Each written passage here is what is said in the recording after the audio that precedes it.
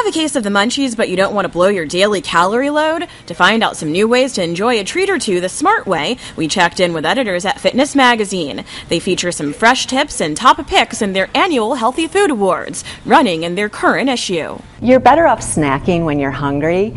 Basically, what you want to be doing is eating every three to four hours because it keeps your blood sugar levels stable and it keeps your energy levels stable as well. And also, it keeps your metabolism humming. Keeping that in mind, they help break down a list they say will be a win for your diet. These hummus and cheese snacks grab top honors, and Fitness Mag experts suggest you get your crunch on with items like Cape Cod's Sweet Mesquite barbecue chips with 40% less fat, or Kernel Season's real butter popcorn. This popcorn's great. It tastes like your favorite movie theater snack, but it doesn't have the fat or the calories. Two cups are 160 calories, and it's loaded with fiber, so it's a really healthy snack. Craving something sweet? They suggest Silky Smooth milk chocolate singles bars from Dove at just 200 calories each. Kozy Shack chocolate pudding made with low fat milk also made the list at 110 calories and just 1 gram of fat per cup.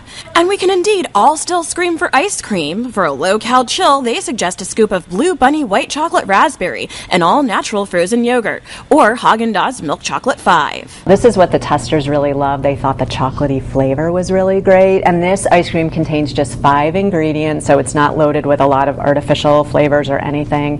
It's 220 calories a half cup.